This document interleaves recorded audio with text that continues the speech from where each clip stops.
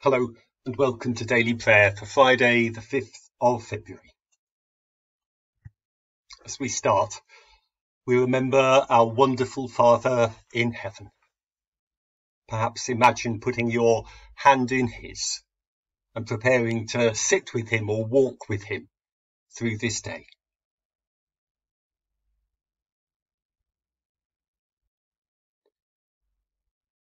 So we say together, to whom then will you compare God? What image will you compare him to? Do you not know? Have you not heard? He sits enthroned above the circle of the earth, and its people are like grasshoppers. He stretches out the heavens like a canopy, and spreads them out like a tent to live in. Lift your eyes and look to the heavens. Who created all these? He who brings out the starry host one by one, and calls them each by name. Because of his great power and mighty strength, not one of them is missing. Why do you say, O Jacob, and complain, O Israel, my way is hidden from the Lord. My cause is disregarded by my God. Do you not know? Have you not heard? The Lord is the everlasting God, the creator of the ends of the earth.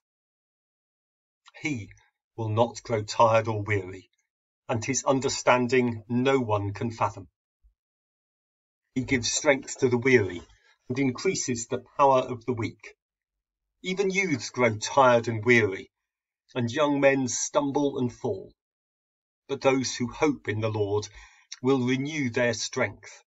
They will soar on wings like eagles. They will run and not grow weary. They will walk and not be faint. So as we gather in God's presence, let us renew our hope in Him. Remember that nothing uh, is beyond His power or His love. So with that in mind, look back at the last 24 hours and give thanks for everything has been good. That his kingdom might come in our hearts um, as we respond in thanksgiving.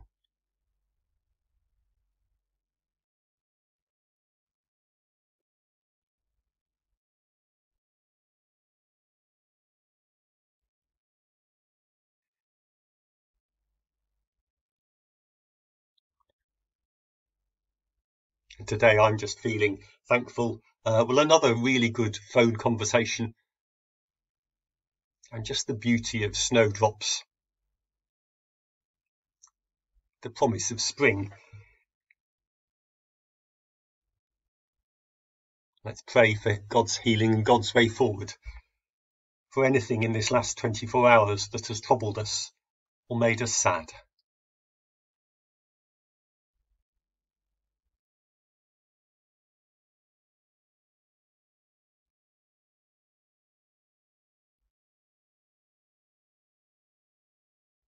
Please pray for uh, the family of Nancy, who has died today. For others on our hearts.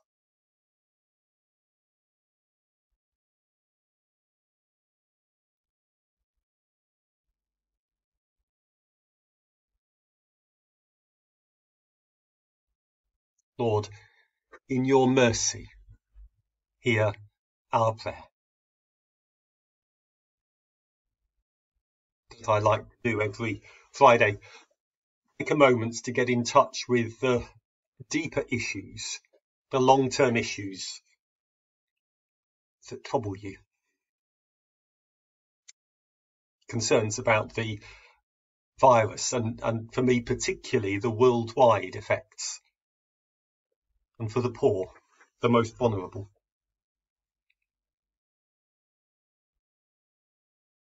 Issues of climate change and the worry that they've been forgotten with the uh, COVID crisis.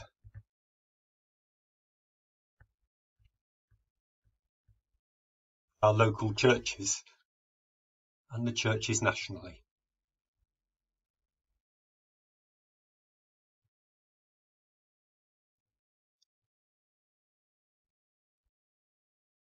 And let God's Spirit bring to your mind and heart perhaps how he wants you to pray.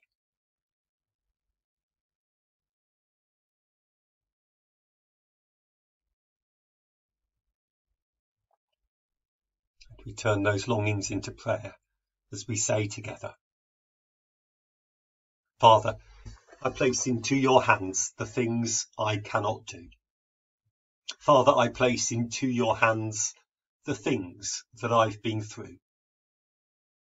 Father, I place into your hands the way that I should go, for I know I always can trust you.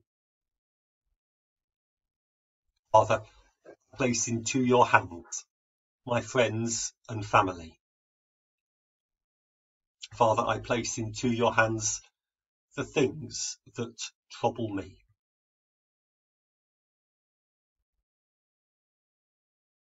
Father, I place into your hands the person I would be. For I know I always can trust you.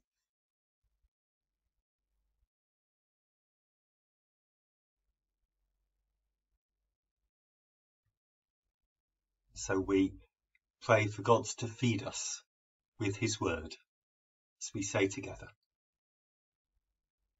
God of truth, Help us to keep your law of love and to walk in ways of wisdom, that we may find true life in Jesus Christ, your Son. Amen. Continuing to read from Corinthians. In the following directives, I have no praise for you, for your meetings do more harm than good. In the first place, I hear that when you come together as a church, there are divisions among you. And to some extent, I believe it. No doubt there have to be differences among you to show which of you have God's approval. So then, when you come together, is it not the Lord's Supper you eat? For when you are eating, some of you go ahead with your own private suppers. As a result, one person remains hungry and another gets drunk. Don't you have homes to eat and drink in? Or do you despise the church of God by humiliating those who have nothing? What shall I say to you? Shall I praise you? Certainly not in this matter. For I received from the Lord what I also passed on to you the Lord Jesus, on the night he was betrayed, took bread. And when he had given thanks, he broke it and said, This is my body, which is for you. Do this in remembrance of me. In the same way, after supper, he took the cup, saying, This cup is the new covenant in my blood. Do this whenever you drink it in remembrance of me. For whenever you eat this bread and drink this cup, you proclaim the Lord's death until he comes. So then, whoever eats the bread or drinks the cup of the Lord in an unworthy manner will be guilty of sinning against the body and blood of the Lord.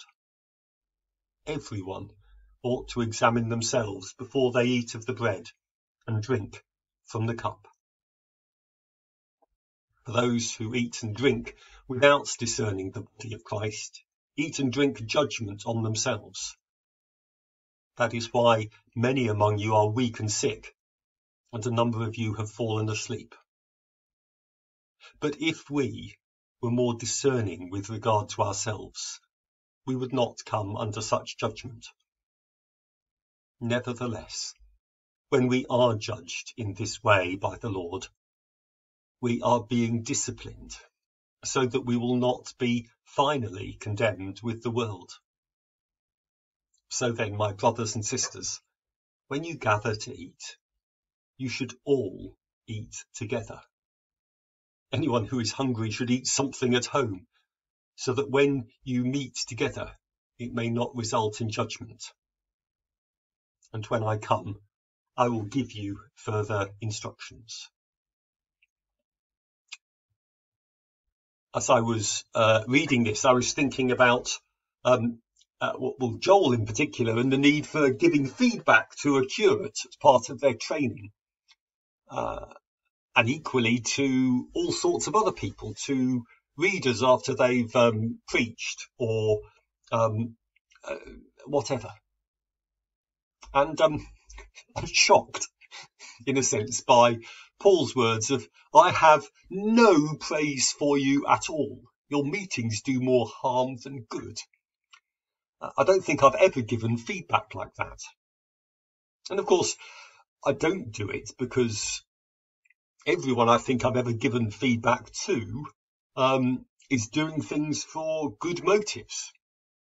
But things aren't perfect, we could all do better.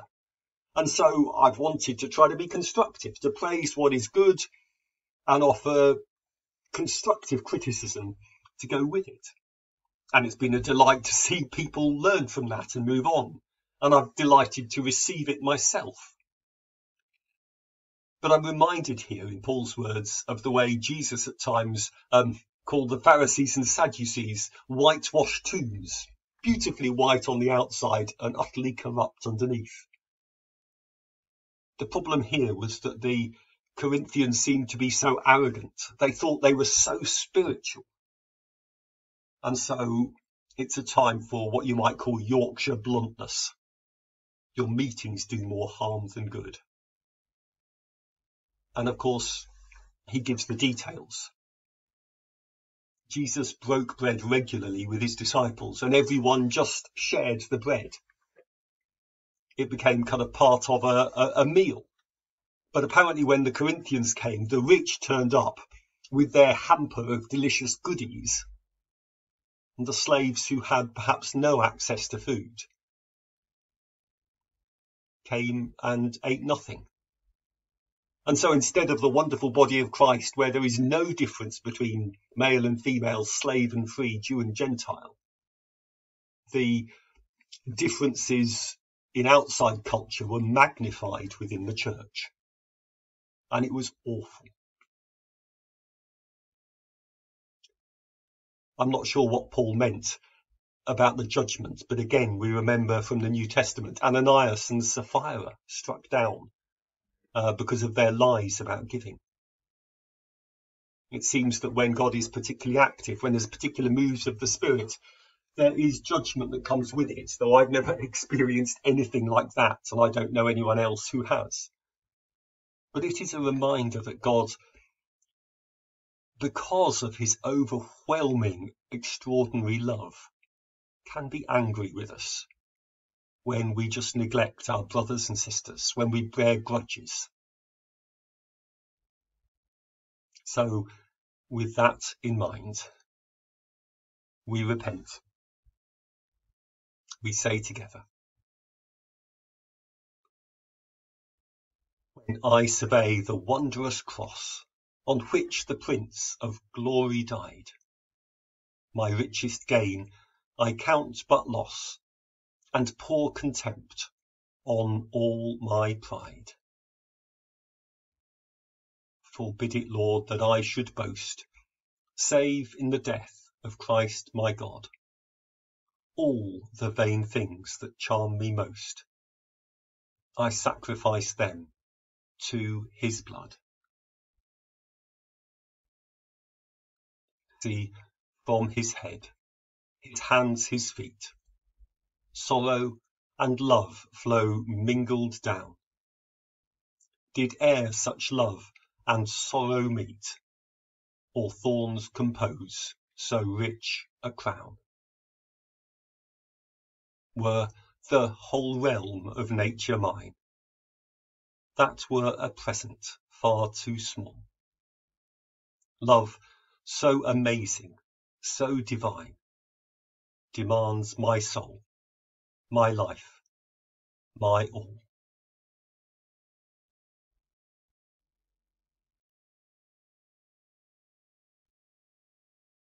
And so we remember on the cross, Jesus praying, Father, forgive them. They don't know what they're doing. So let us all receive his forgiveness and respond with our lives.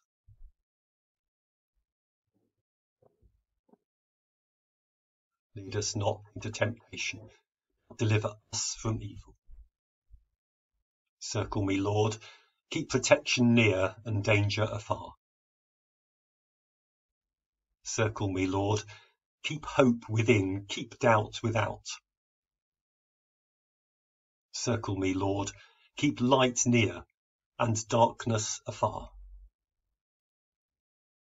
Circle me, Lord, keep peace within, keep evil out.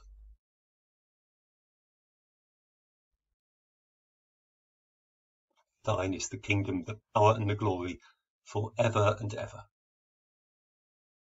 After this I looked, and there before me was a door standing open in heaven. And the voice I had first heard speaking to me like a trumpet said, Come up here, and I will show you what must take place after this. At once I was in the Spirit, and there before me was a throne in heaven, with someone sitting on it. And the one who sat there had the appearance of jasper and ruby a rainbow that shone like an emerald encircled the throne. Surrounding the throne were twenty-four other thrones, and seated on them were twenty-four elders. They were dressed in white and had crowns of gold on their heads. From the throne came flashes of lightning, rumblings and peals of thunder.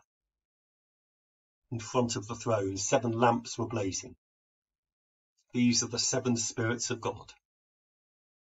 And also in front of the throne there was what looked like a sea of glass, clear as crystal. So may the peace of God, which passes all understanding, keep your hearts and your minds in the knowledge and the love of God, of his Son, our Saviour, Jesus Christ, and the blessing of God Almighty, Father, Son, and Holy Spirit, rest upon you and remain with you this day and always. Amen. So thank you for praying with me and for me. Bye bye.